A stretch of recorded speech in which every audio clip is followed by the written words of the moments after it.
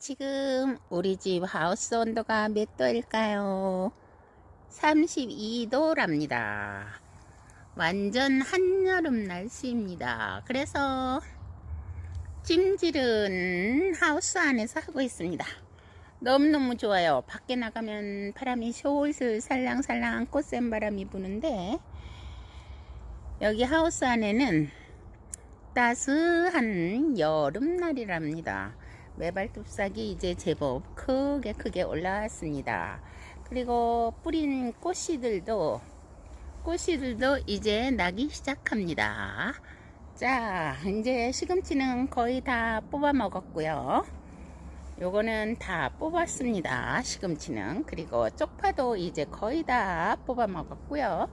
씨들은 나기 시작한답니다. 내가 나의 작업장 하우스에서 찰칵 인증사 찍으면서 2분 영상 돌리겠습니다. 재밌어요. 일하는 거. 일도 농촌 일은 취미생활로 해야지 힘이 들지가 않는 거랍니다. 음, 요게 언제쯤이면 싹이 날까 하고 봤더니 음 그래도 어떤 건 나고 어떤 건 안 나고 그렇습니다. 별의별 거를 다 심어 놨는데요. 이제 어떤 싹은 나는데 이걸 다 표시해 놨는데 이게 무슨 싹인지 나도 모르겠습니다. 다 잊어버려요. 이렇게 해서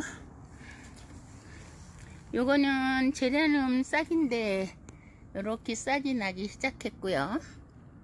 그래도 이렇게 이름 명찰을 달아놨더니 싹이 나기 시작했고요.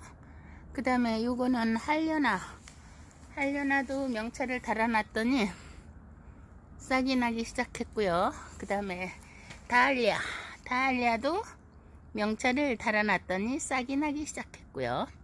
그 다음에 앵초 앵초도 싹이 나기 시작했습니다. 오늘은 이분 영상으로 돌리고 오늘 밖에 날씨는 어떤가요? 엄청도 좋아요.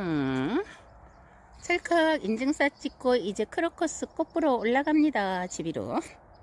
찰칵 2분 30초 영상은 바우쌤이 농원에서 놀고 있습니다. 주말 시간 행복 시간이랍니다.